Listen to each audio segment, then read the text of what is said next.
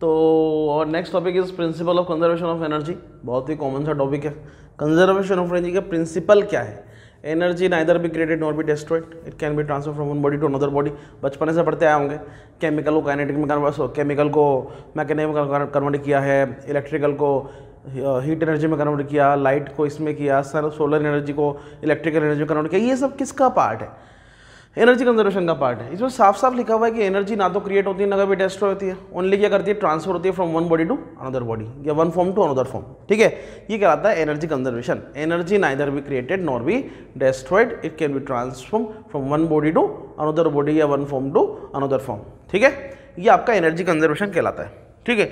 इसी को प्रूव करने के लिए कंफर्म करने के लिए हम एक टॉपिक यहाँ पर लेके आए हैं।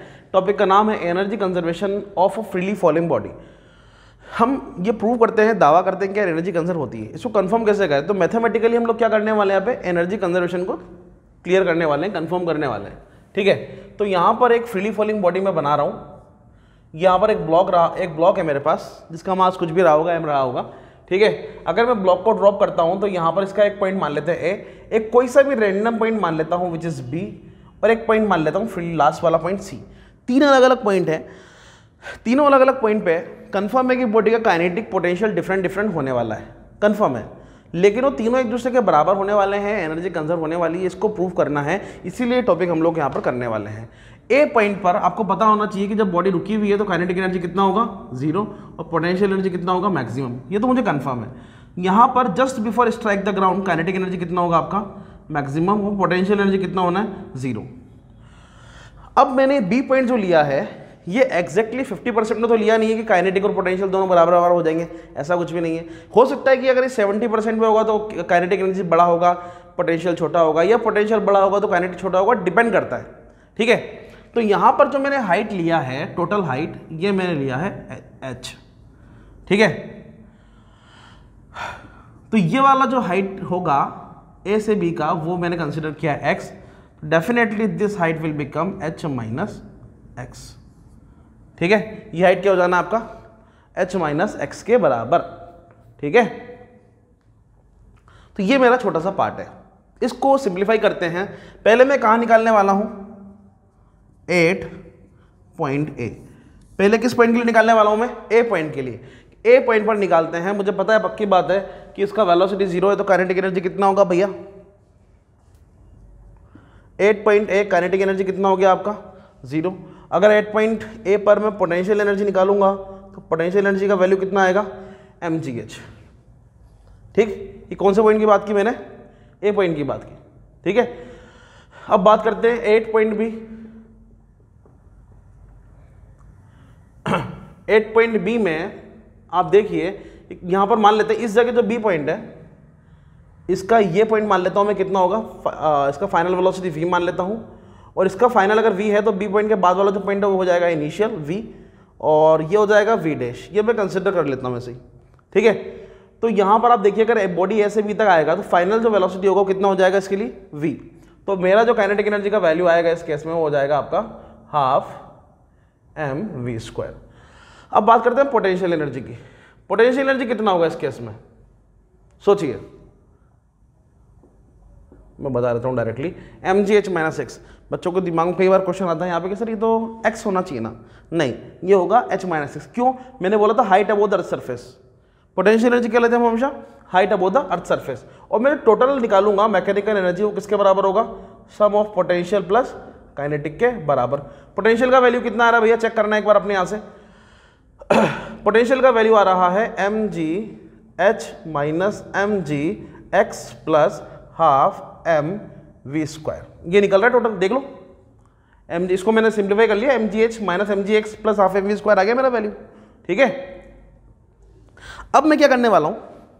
यहाँ पे कैरेटिक एनर्जी का वैल्यू कितना है? हाफ़ एम वी स्क्वायर अब मैं यहाँ पर अप्लाई करने वाला हूँ equation of motion third V square is equal to U square plus two G A जो कि सुना होगा आप लोगों ने।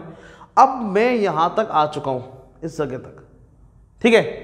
तो इस सिचुएशन में इनिशियल वेलोसिटी कितना होगा? Zero V square is equal to किसके बराबर हो गया? टू जी एच का वैल्यू कितना है? एक्स के बराबर. एच का वैल्यू कितना ले रहा हूँ मैं? एक्स ठीक है?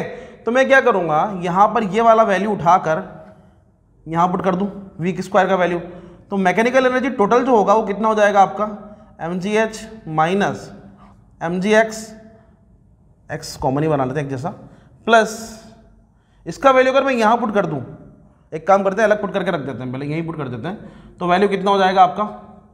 Half M as it is होगा।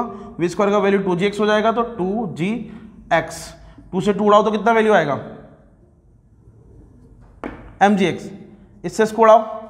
तो टोटल वैल्यू कितना है आपके पास? एट पॉइंट बी पर कितना वैल्यू आया आपका? अगेन एम जी एच इससे पहले देखिए कितना वैल्यू आ रहा था यहाँ पे। ये भी कितना था? एम जी एच ये भी कितना है मेरे पास? एम जी एच ठीक, अब मैं निकालता हूँ। एट पॉइंट सी कौन से पॉइंट में निकाल रहा हूँ मैं? सी पॉइंट पर। कैलकुलेट करते हैं वैल्यू सी पॉइंट पर आने के बाद बॉडी का पोटेंशियल तो कितना हो जाना है? ज़ीरो काइनेटिक कितना होगा? Half M V dash square देखो यहाँ पर फाइनल वेलोसिटी मैंने कितना माना हुआ है? वी डैश तो वैल्यू कितना आ जाएगा आपका? Half M V dash square ठीक है? अब मैं फिर से क्या लगाने वाला हूँ यहाँ पर? Equation of motion third V square is equal to U square plus two G H formula होता है। ठीक है? अब ये देखिए बॉडी जो ऊपर से नीचे आएगी तो आप ये अच्छा एक मिनट। सबसे पहले तो ये काम करें कि मैं कहाँ के लिए, किसके लिए बात कर रहा हूँ? यहाँ फाइनल वेलोसिटी कितना होगा? इनिशियल अगर ज़ीरो मान लूँ तो ये कितना हो जाएगा? वी डैश स्क्वायर हो जाएगा? वैल्यू पुट करते हैं। तो ये वैल्यू हो जाएगा आपका V dash square is equal to two G H के बराबर। ठीक है? अब अब एक काम करें। ये वैल्यू उठाकर कहाँ पुट कर सकते हैं हम लोग यहाँ पर? इस जगह। तो यहाँ मैं लिख देता हूँ। काइनेटिक एनर्जी कितना हो गया आपका? हाफ़ एम वी डैश का वैल्यू कितना है? Two G H V dash square का वैल्यू एक्चुअल में, ठीक है? इसको इससे उड़ाएँ तो काइनेटिक एनर्जी कितना आ गया आपके पास? अगेन एम जी एच तो आप देखेंगे कि एनर्जी एट पॉइंट है energy at point B and energy at point C यहाँ देखिए एट पॉइंट है कितना आ रहा है? टोटल एम जी एच यहाँ टोटल कितना आ रहा है आपका? एम जी एच और यहाँ टोटल कितना आ रहा है आपका? एम जी एच तो मतलब हर पॉइंट पे एनर्जी क्या हो रही है आपकी? कंजर्व हो रही है। तो ये एनर्जी कंजर्वेशन को हमने अब कंफर्म किया है कि हाँ ये ऐसा हो रहा है। Energy at point A B C freely falling body किसी पॉइंट पर निकालेंगे तो हर पॉइंट पे एनर्जी का लेवल क्या होगा? बराबर होगा। Energy at point A B and C is always equal in that case ठीक है?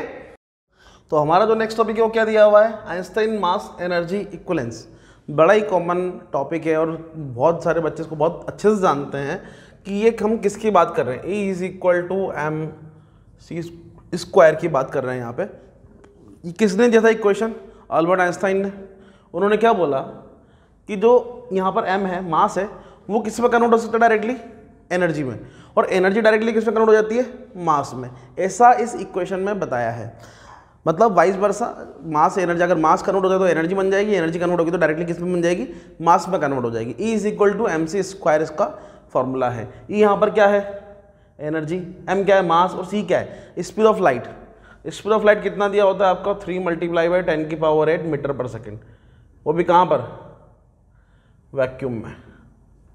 Speed of light in vacuum कितना दिया होता है? थ्री मल्टीप्लाई बाई टेन की पावर एट मीटर पर सेकेंड ठीक है? वैक्यूम में. यहाँ पर इसने क्या बताया कि एनर्जी किसमें कन्वर्ट हो सकती है डायरेक्टली मास में. और मास किसमें कन्वर्ट होगा? एनर्जी मतलब ये वाइस वर्षा एक दूसरे में इंटरचेंज हो जाते हैं. अब यहाँ पर ये बताया हुआ है कि जब मास अगर डिसअपियर होगा मतलब मास अगर कन्वर्ट होगा तो किसमें कन्वर्ट होगा? एनर्जी में। तो इसने बोला कि मास अगर डिसअपियर होगा तो क्या बन जाएगा? एनर्जी एनर्जी अपियर हो जाएगी। If mass disappear energy will appear इस energy will appear will disappear then mass definitely will appear अगर एनर्जी यहाँ पहले मास से बात करते हैं मास डिसअपियर हुआ तो एनर्जी अपियर हो जाएगा। अगर एनर्जी डिसअपियर होता है तो क्या हो जाएगा? मास अपियर हो जाएगा। ठीक है? यहाँ पे ऐसा लिख सकते हैं कि M is equal to E upon C square यहाँ पर सी अगेन क्या होगा आपका? Speed of light in vacuum three multiply by ten की पावर एट मीटर पर सेकेंड अगर आप बात करें एनर्जी जो रिलीज़ एनर्जी बनती है कहाँ पर? अर्थ और सन स्टार पे सॉरी सन और स्टार पे. सन क्या है? कि स्टार है. वहाँ पर क्या होता है? हाइड्रोजन जो हीलियम होते हैं, वो क्या करते हैं? माउंट का कुछ मास होता है.